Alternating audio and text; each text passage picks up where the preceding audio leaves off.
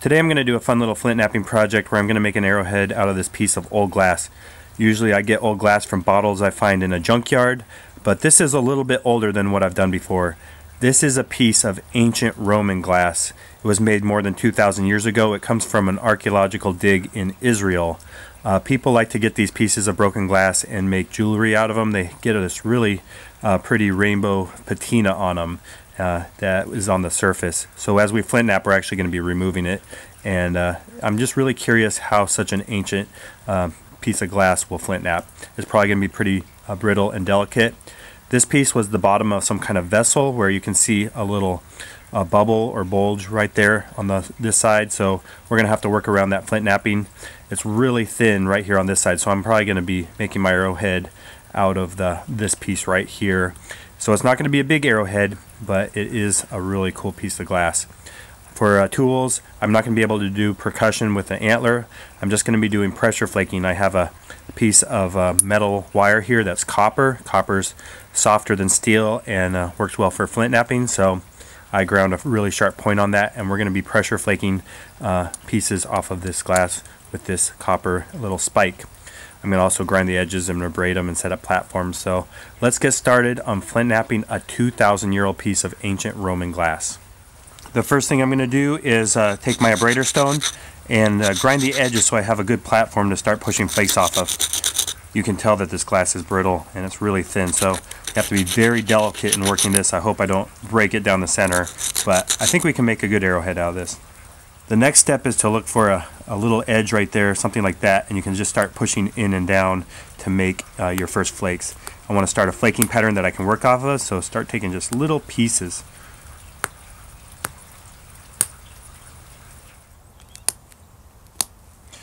With this initial stage, I'm taking just tiny little flakes from the edge. Uh, that way I have a nice uh, angled edge that I can grind and send flakes into, take away all those square edges, and I'm starting to shape the piece.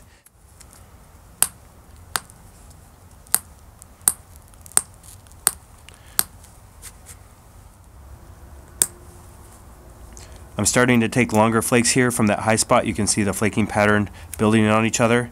It's really starting to come together. That was a nice flake. I've been working the edges on this ancient Roman glass for about a half an hour and it's starting to take shape. I'm getting a nice triangle arrowhead shape and the flakes are getting longer. Right now the biggest challenge is removing this high spot here, but I think pretty soon we'll be taking flakes from both sides and being able to flatten this piece. I'll just keep working the edges with this copper pressure flaker, being really careful to support my far edge and not push too hard. And so far it hasn't broken. Uh, we're working off that rainbow patina quite a bit, so that's disappearing. But the glass underneath is really pretty. It's kind of this aqua clear blue color. I'm going to keep working the edges now.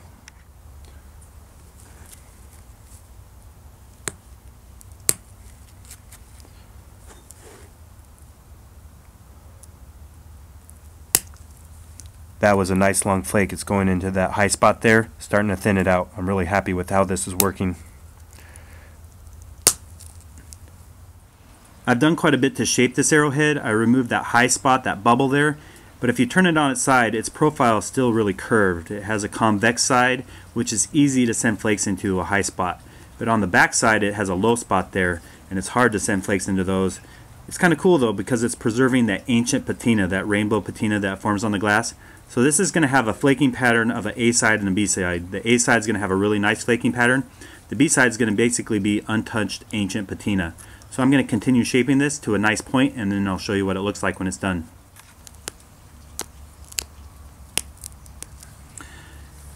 I've just about completed the final shaping on our arrowhead. It has a really nice needle point there. I just need to put in some notches at the base so I'll pressure flake those in and then I'll show you what our 2,000 year old ancient Roman glass arrowhead looks like.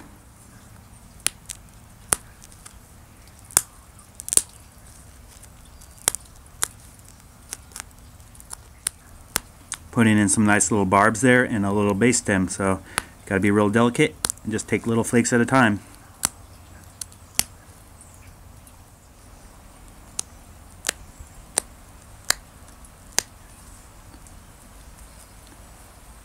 There, I'm really happy with that. A nice flaking pattern, a sharp point, some barbs, and that ancient patina, that rainbow color on the back. This will make a really cool necklace and it's a fun project. I like trying different things and flint knapping ancient glass was definitely a challenge and it was fun. I enjoyed it. I'll be doing more flint knapping videos in the future so stay tuned.